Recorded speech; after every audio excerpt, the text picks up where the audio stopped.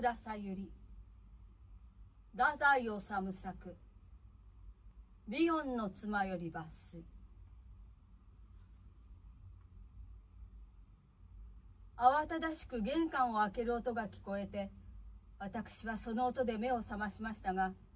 それは泥酔の夫の深夜の帰宅に決まっているのでございますからそのまま黙って寝ていました。ごめんください。大谷さんいらっしゃるんでしょ？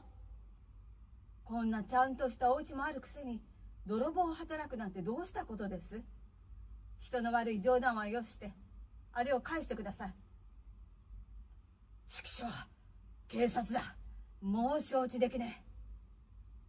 え。すみません。どうぞお上がりになってお話を聞かせてくださいます。私でも後の始末はできるかもしれませんから。二人の客は顔を見合わせかすかにうなずき合って男の人が先にそれから女の人が夫の部屋の六畳間に入り初めてお目にかかります。主人がこれまで大変なご迷惑ばかりおかけしてまいりましたようでまた今夜は何をどういたしましたことやらあのような恐ろしい真似などしてお詫びの申し上げようもございませぬ。何せあのような変わった気性の人なのでと言いかけて言葉が詰まり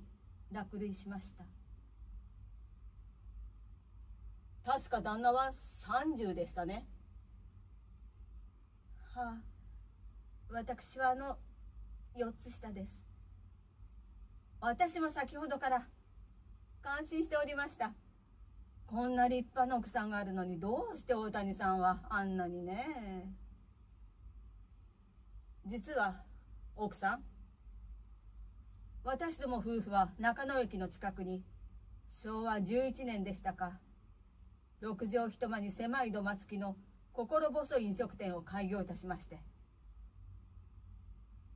こうして手短に語るとさして大きな難儀もなく割に運がよく暮らしてきた人間のようにお思いになるかもしれませんが人間の一生は地獄でございまして寸前尺馬とは全く本当のことでございますね。一寸の幸せには一尺の魔物が必ずくっついてまいります。人間365日。何の心配もない日が一日いや半日あったらそれは幸せな人間です。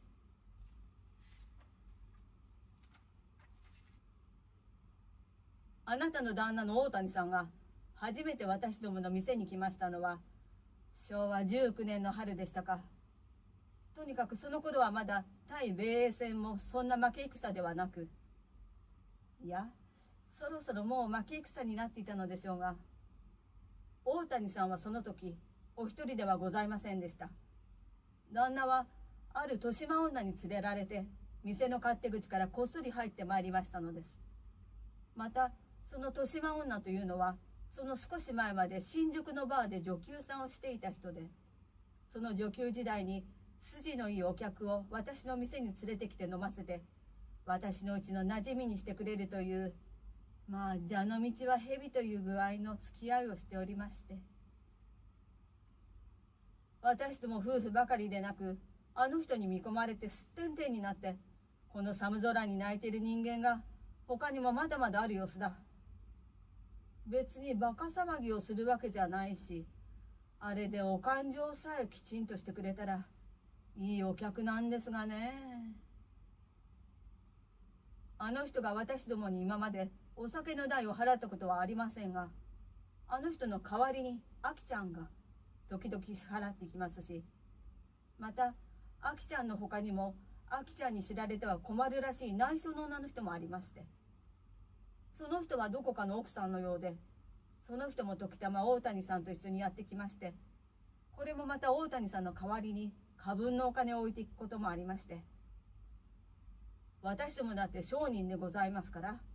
そんなことでもなかった日にはいくら大谷先生であろうが宮様であろうがそんなにいつまでもタダで飲ませるわけには参りませんのです。けれどもそんな時ための支払いだけではとても足りるものではなくもう私どもの大損で何でも小金井に先生の家があってそこにはちゃんとした奥さんもいらっしゃるっていうことを聞いていましたので。そのうちに東京は大空襲の連続ということになりまして何が何やらやがて終戦になりました。今度は女連れでなく必ず23人の新聞記者や雑誌記者と一緒に参りまして何でもこれからは軍人が没落して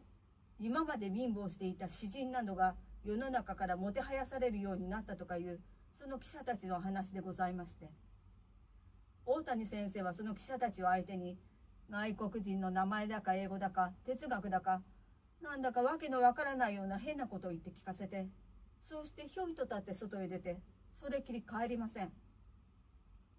記者というものは柄が悪いと世間から言われているようですけども大谷さんに比べるとどうしてどうして正直であっさりして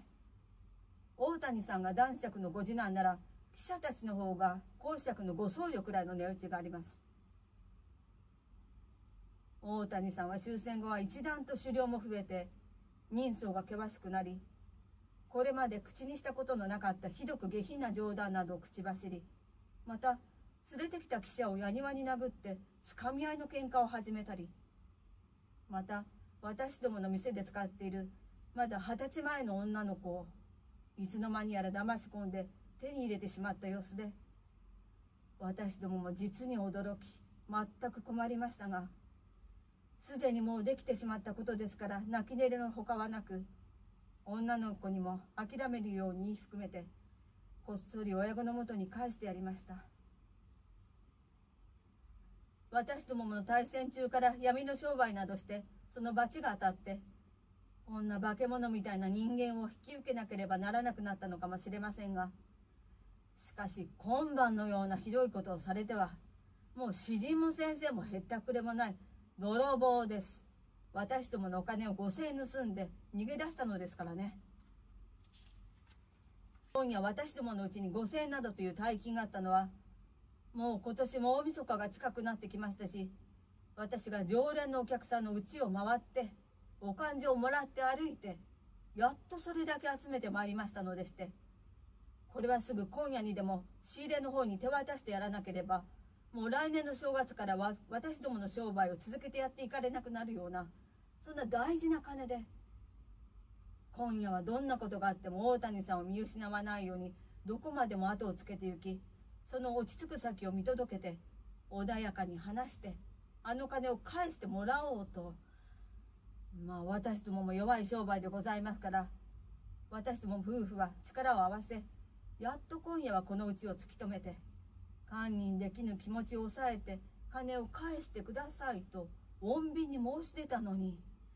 なんということだナイフなんか出して刺すぞだなんてまあなんという。またもや訳のわからぬおかしさがこみ上げてきまして私は声を上げて笑ってしまいましたおかみさんも顔を赤くして少し笑いました私は笑いがなかなか止まらずご亭主に悪いと思いましたがなんだか奇妙におかしくていつまでも笑い続けて涙が出て夫の詩の中にある文明の果ての大笑いというのはこんな気持ちのことを言ってるのかしらとふと考えました。とにかく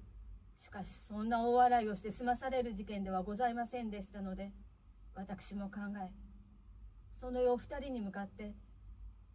それでは私が何とかしてこの後始末をすることにいたしますから警察沙汰にするのはもう一日お待ちになってくださいまし。あそちら様へ私の方からお伺いいたします」と申し上げましてその中野のお店の場所を詳しく聞き無理にお二人にご承諾を願いましてその夜はそのままでひとまず引き取っていただきそれから寒い六畳間の真ん中に一人座って物暗示いたしましたが別段。何のいい工夫も思い浮かびませんでしたので。立って羽織を脱いで坊やの寝ている布団に潜り坊やの頭を撫でながらいつまでもいつまでたっても夜が明けなければいいと思いました。